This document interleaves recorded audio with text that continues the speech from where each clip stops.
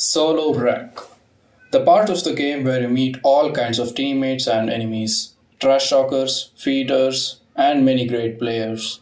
But as a solo queue masochist myself, I thought to make it more challenging by playing only one role till I reach Mythic. We begin in Epic 2 along with the whole Mythic crowd, and I picked Terizla for the first game to start strong. Sadly, I was leaning against a Yin, and he just got constantly bullied by me and my team.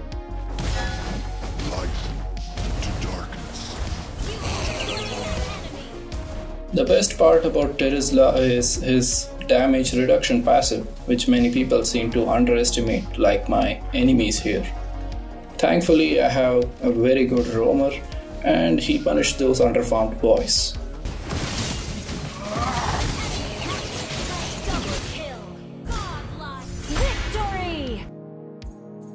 Then I decided to choose my own path and picked Arlott. I always thought I'm very good at Arlott and was feeling good after killing this level 2 X-Borg. Eventually, my auto aim didn't work anymore on this guy with fire prosthetics and had to accept defeat. We had enough protection, and I decided to continue. The next game, I was laning against a monkey who recently had a plastic surgery like Michael Jackson. I was pretty overconfident, so was trying to kill Harley too. Later into the game, there was a moment where the enemies used all their CC on me along with 27 skills, which made me realize that I was the only frontliner in this team. We won for tanking all the damage. Alpha is online.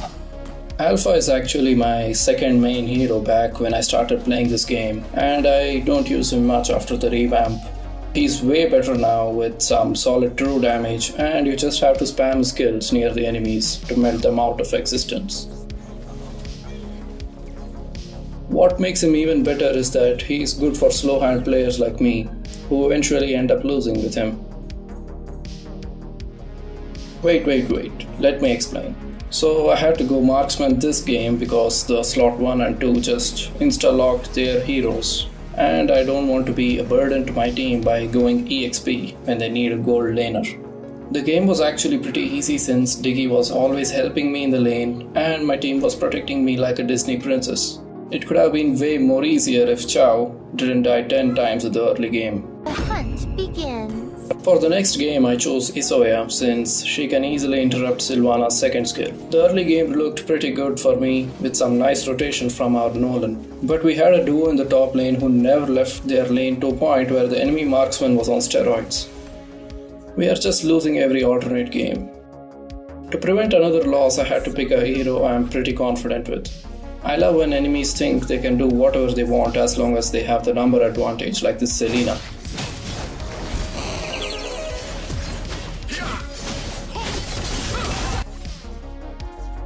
Looking at the trend of the games, the next game has a high chance of a loss, so I picked a hero to just shred out the enemies and push. Initially, I was wondering why Vayne had a UK title and then thought my Wi Fi was bad until the matchmaking said, Welcome to EU.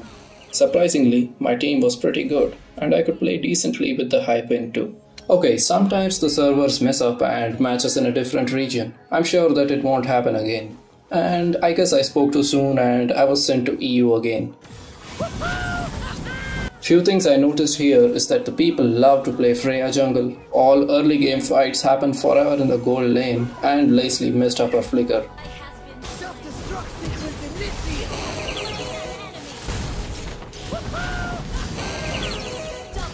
I got double stars for surviving in a different server, and I think I'm finally out of losing every alternate game.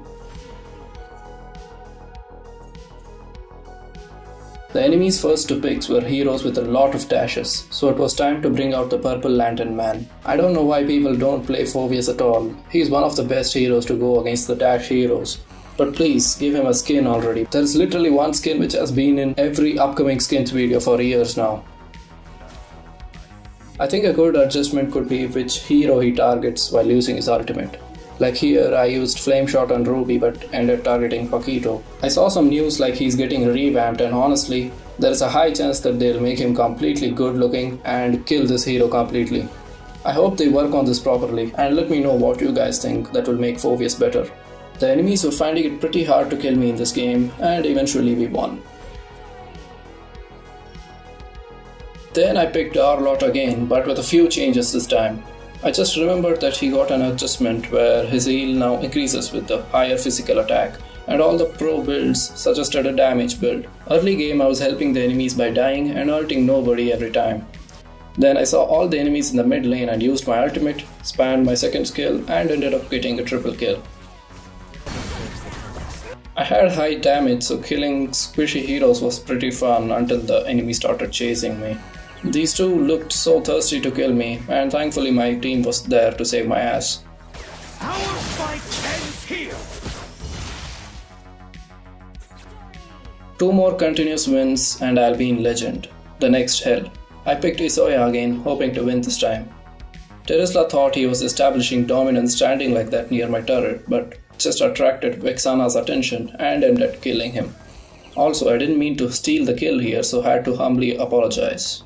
All my teammates loved my lane for some reason, and Terizla kept fighting for no reason just to feed my team. We were easily winning the game, and for a moment, the enemy decided to go all out on us, which actually just helped us clean them all up. I ignored Terizla here since he was doing negative damage to me, and just focused on getting their mage. I love how he was casually walking next to me as if I made some peace agreement with him, and after chopping his head, it was another win getting us closer to Mythic. My teammate seemed unbothered what hero I picked, so I chose Yu Zhong, and I was leaning against an who was very thirsty to get his tracks. The whole early game I just bullied him whenever he tried to get any of the minions. I don't know why, but many people just underestimate Yu Zhong's passive damage in the early game. It hurts even more if you're low because it's based out of your lost HP. Stubbornness. And actually nothing else happened in this game, so I kept pushing my lane and my team was winning and that was a pretty easy final game to reach Legend. I reached it in 14 games with a win rate of 71%. It's not too great since this will get much lower as we go through Legend. Make sure to check out our memberships for custom badges and emojis. And I'll see you guys in the next video if I survive in Legend rank. Bye.